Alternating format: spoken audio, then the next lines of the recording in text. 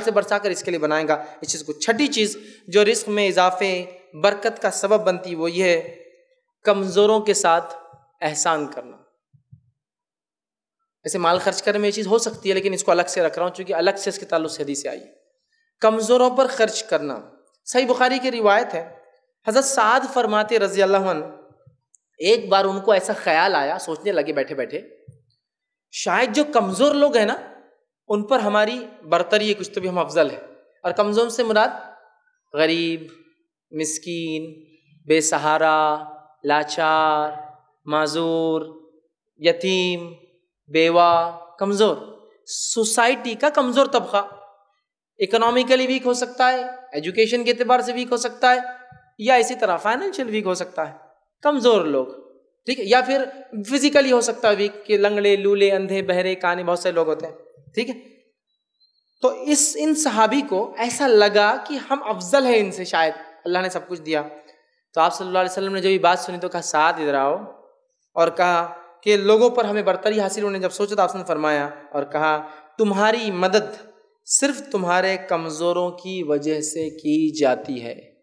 تمہاری مدد، ہیلپ، سہایتا صرف تمہارے کمزوروں کی وجہ سے کی جاتی ہے۔ اور انہی کی وجہ سے تمہیں رزق دیا جاتا ہے، اور انہی کی وجہ سے تمہیں رزق دیا جاتا ہے۔ کمزور سماج کے غریب غریب ہے کیوں غریب، وہ آپ کی وجہ ہے رزق دینے کی۔ چونکہ آپ اس پہ خرچ کرتے ہیں، ہمارا رب خوش ہوتا ہے اس خرچ سے لوٹا کر ہمیں دیتا ہے۔ سمجھ رہے ہیں بات کو؟ کمزور طبقہ، مالی کمزوری، جسمانی کمزوری لولے لنگڑے، لاچار، اپاہج بہت شرم کی بات ہے مسلمانوں، اس چیز کو سمجھو کہ تمہارے سماج کے لولے لنگڑے اور اندھے اور بہرے ہیں، لیکن تم نے کوئی نظم بھی آج تک ان کے لیے قائم نہیں کیا ان کی سائیکل جو تین چاکی ہوتی وہ بھی پتہ نہیں کوئی غیر مسلم تنظیم ان کو ڈونیٹ کرتی ہے۔ کیا فرما اللہ کے رسول؟ تمہیں تمہارے کمزوروں کی وجہ سے مدد، نصرت ہیلپ سپورٹ ملتا ہے اللہ سے، اور دوسرا، کیا ہوتا ہے؟ تمہیں رزق دیا جاتا ہے، یاد رکھیے، رزق دیا جاتا ہے۔ کتنی اہم بات ہے یاد رکھیے بہت اہم بات ہے یاد رکھیے اس چیز کو ہم سمجھنے کی کوشش کریں تو تمہیں رزق آپ صلی اللہ علیہ وسلم فرما رہے کس کی وجہ سے دیا جاتا ہے؟ تمہارے کمزوروں کی وجہ سے رزق دیا جاتا ہے۔ مدد نصرت کی جاتی ہے۔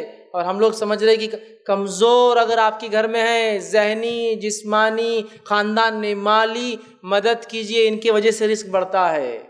دیا جاتا ہے، عطا کیا جاتا ہے۔ ہمیں سپلائی کیا جاتا ہے۔ نصرت مدد بھی یاد رکھی، جڑی ہوئی ہے کمزوروں کی مدد سے۔ کمزوروں کی مدد سے اللہ کی نصرت بھی جڑی ہے، مدد بھی جڑی ہے اور ان کے دینے سے ہمارے رزق میں زیادتی بھی جڑی ہے۔ تو دینا چاہیے، یاد رکھیے، کتنی بڑی بات ہے، جو ہے کمزوروں کی مدد۔ کمزور میں سب کچھ آ جائیں گے، یاد رکھیے۔ سب کچھ، بیوہ عورت کمزور ہے اسے کمانے والا کوئی نہیں۔ اسی طرح جو ہے متعلقہ ہے، اگر اس کی شادی نہیں ہوتی تو اسی کمزور ہے، اس کا کوئی انکم کا سورس نہیں۔ یتیم ہے، اگر والد نے کچھ چھوڑا نہیں تو کمزور ہے۔ جسمانی اعتبار سے کوئی بھی فزیکل ڈسیبلٹی ہے، جس کو کہیں گے ہم کمزوریاں ہیں، ہاتھ، پیر، آنکھ، ناک، کان ذہنی طور سے، یہ ان کی مدد کیجیے ان کی وجہ سے تو رزق ملتا ہے۔ جن کے گھر میں ایسے لوگ ہیں، ان کو پتا ہے اس سے کیا روزی روٹی ملتی ہے ان کو۔ یہ بڑی اہم بات ہے، اس چیز کو نبی اکرم صلی اللہ علیہ وسلم سمجھایا۔ میں صحیح بخاری کی اور ابو داؤد کی روایت ہے، آپ نے فرمایا کہا ابو دردہ رضی اللہ فرماتے اور کہتے ہیں، میری رضا اپنے کمزور لوگوں کے ساتھ احسان کر کے حاصل کرو۔ آپ سے فرما رہے میری رضا روز قیامت چاہتے ہو نا؟ میں تمہاری سفارش کروں۔ ٹھیک ہے؟ تو میری رضا اپنے سماج کے کمزور لوگوں کی مدد سے حاصل کرنے کی کوشش کرو، کیونکہ تمہیں اپنے کمزور اور ضعیف کی وجہ سے رزق اور نصرت ملتی ہے۔ ان کمزوروں اور ضعیفوں کی وجہ سے روزی بھی ملتی ہے اور کیا ملتی ہے؟ نصرت، سمجھتے نا؟ ہیلپ یہ دونوں چیزیں جو ہے کمزوروں سے جو ہے ملتی ہے۔ ساتویں